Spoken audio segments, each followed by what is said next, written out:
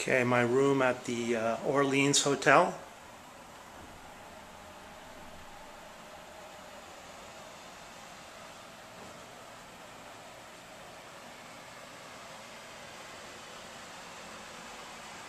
Good air conditioning, nice and cool in here.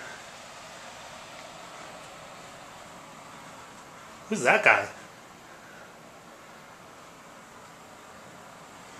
Let's check out the view. Well, we got the pool down there. Can't see too much.